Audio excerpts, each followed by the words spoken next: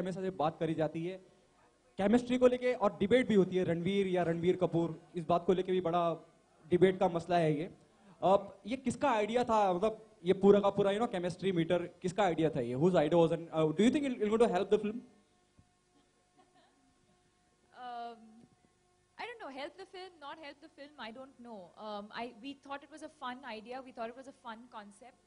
Um, हर film के साथ शायद ऐसा कुछ करने का मौका नहीं मिलेगा मिलेगा हमको um, we felt that so much was being spoken about our chemistry, so much was being spoken about our Jodi. How do we include our fans uh, and people who are invested in the film and people who are a fan of the film as well? How do we make them a part of this journey? Uh, and that's why we came up with this idea. And uh, most importantly, I think kahin na kahin ye film se juda hai because the film also talks about um, not not necessarily chemistry, but the film is also talking about how relationships today, are youngsters ke beech mein especially, relationships mechanical ban gaye hain. Um, there is a kind of boredom that has set in, especially in the youth, uh, because of lifestyle, because of various reasons. So we just felt it was a fun thing to do to get couples more involved with themselves and as well as uh, with our journey with the. Recently, you said you've said that uh, Deepika is a flirt. So what made you say that? you know, I, I, I- you know, the the tough part is कि आप कुछ बोलते हो कि उसके कुछ चार पांच मीनिंग्स निकल आते but I said in a fun way you know जैसे मैंने जवानी में भी कहा था कि फ्लर्टिंग सेहत के लिए अच्छा होता है इट्स लाइक योगा तो मैं ये नहीं कह रहा कि ये फ्लर्ट है और ये यू नो कुछ uh, गड़बड़ कर रही है। I was just teasing her so don't take a very dirty meaning out of it Also, ये अच्छी लड़की है संस्कारी Also, है you've said that uh, coming back to Deepika is like. Uh, uh, आप आप हो- आप हो कहाँ? अच्छा। Also, you've said that you know uh, coming back to Deepika is like dal chawal. Again I will explain that statement you know क्या होता है कि आप चार पाँच चार पाँच वर्ड्स ले लेते हो और आप खुद आप एक हेडलाइन बना देते हो तो मैं. मैं क्लैरिफाई कर रहा हूँ तड़का वड़का दाल मक्खन सबके साथ।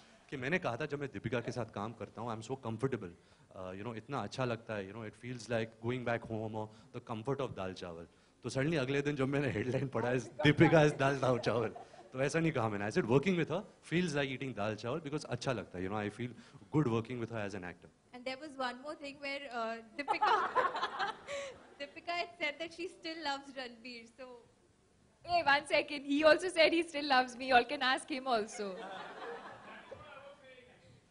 That was not what you were saying. He ate a second spoon of Chyawanprash. I was just reading some things online and they're like, oh, she said this. Are he also said, yaar.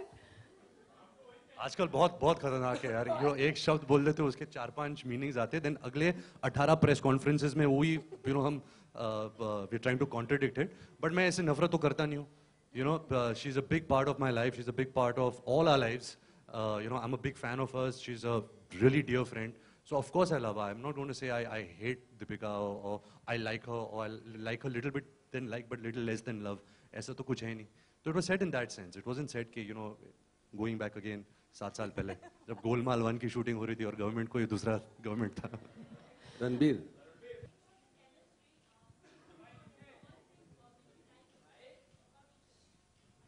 One thing that I like about Deepika is uh, she's very, very uh, serious about her work. You know, she doesn't take that for granted.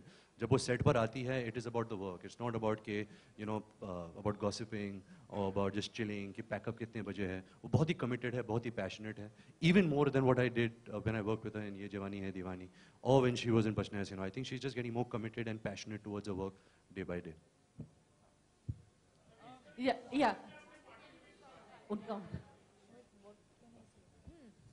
Um, I think he's a very sensitive person, which I think does not come across in a very pronounced way because of the kind of person that he is.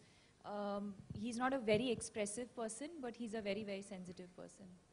या आप दोनों से एक सवाल है आप दोनों ने इम्तियाज़ जी के साथ अलग अलग फ़िल्में की हैं लेकिन ये एक साथ कर रहे हैं और फ्रेंडशिप के वे में तो इस फ़िल्म में काम करने के दौरान वर्क वाइज आप लोगों की केमिस्ट्री कैसी रही तीनों की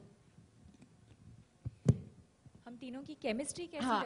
इम्तियाज़ आपकी और इनकी work wise not Work-wise was fantastic because exactly for the same reason that you said, हम हम तीनों ने एक दूसरे के साथ in a different capacity हमने काम किया है। मैंने लव आजकल में किया है इन्होंने रॉकस्टार में किया था।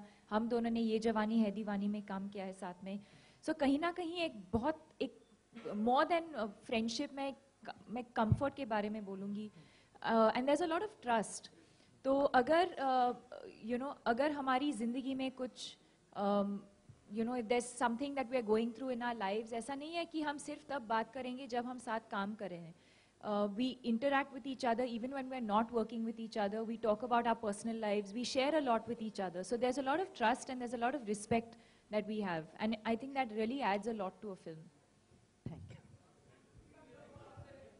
film is uh, the name of the film is Tamasha. Love- photographers are saying enough now. They're like, they're really bored. Okay. इन लोग सब "बस बोल रहे करो." पक गए हम लोग हमको फ़ोटो लेना है बस Okay, Deepika, uh, किस दीपिका किस जोन में है तमाशा अच्छा, you हम- हम कदम? करने I से- thought y'all were all one unit. अभी मुझे और दिख रहा है कि ये now this is becoming separate. Questions are becoming. हाँ. Okay, how you define the, is is it Tamasha is a love story? If जिस तरह से रणबीर जब भी आप आपसे कोई सवाल करा जाता है और खास करके उस तरह का सवाल जो आप पसंद नहीं करते हैं और, जब रणबीर आपके बिहार पे जवाब देते हैं बहुत सेंसिटिव हैं दीपिका बहुत हार्ड वर्किंग है बहुत अच्छी एक्ट्रेस हैं बहुत मेहनती हैं। जब आप उनसे पहली बार नो आठ साल से लेकर अब तक क्या बदलाव देखती हैं रणबीर में आप? आपको नहीं लगता कि ज़्यादा मैच्योर्ड हो गए?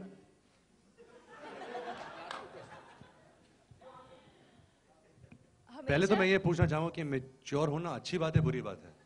अच्छी बात है। एक्चुअली अच्छी बात है पर जैसे आपने पूछा इट साउंडेड लाइक आपको नहीं लगता कि ये ज़्यादा मच्योर हो गए मतलब ये इंसान पागल हो गया नहीं हमेशा से ही काफ़ी मच्योर थे। यस यू आर राइट पिछले तीन दो तीन साल से और थोड़ा मच्योर हो गए हैं। और क्या है कि जब भी आई थिंक ये लास्ट दो तीन सालों में मैं जब प्रेस कॉन्फ्रेंसेस के लिए आता हूँ और आप लोग के साथ आता हूँ ऐसे कभी कभी सवाल आते हैं तो यू नो उनका जवाब देने में थोड़ी मुश्किल होती है। कभी कभी मैं क्या बोलूँ यू नो ऐसे सिचुएशन में फंस जाता हूँ। तो थोड़ा स्ट्रेस होता है बट अभी थोड़ा बहुत यू नो मैं ईज हो रहा हूँ। Uh, मैं और रिलैक्स हो रहा हूँ। First on stage come come come guys come come quickly come quickly come come.